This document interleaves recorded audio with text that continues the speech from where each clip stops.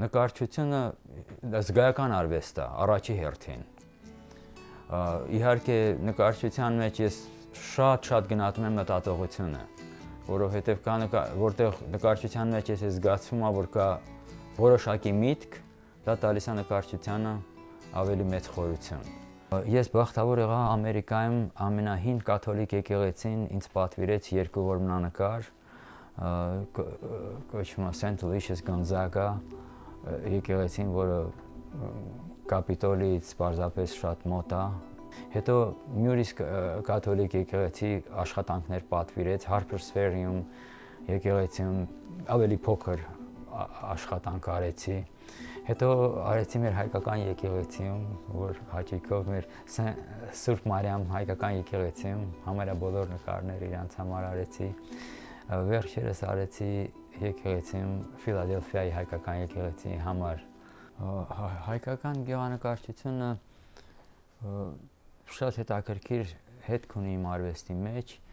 որտեղ հայկական գեղանկարչությունը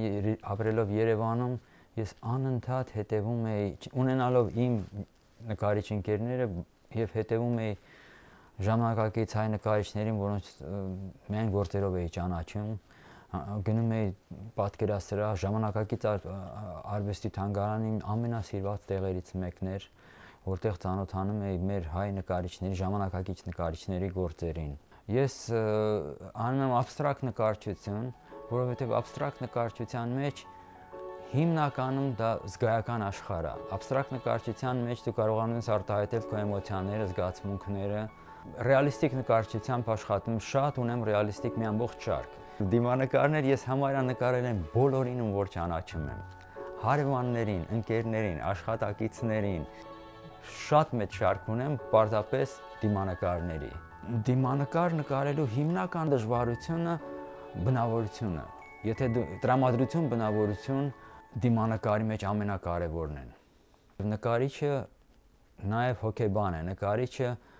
նույնիսկ առաջի հայացքի չճանաչելով մարդուն ես չի ասի պարտավոր է, բայց նկարիչը կարող է թափանցել ավելի խորը, քան ասենք պարզապես նայելով մարդուն։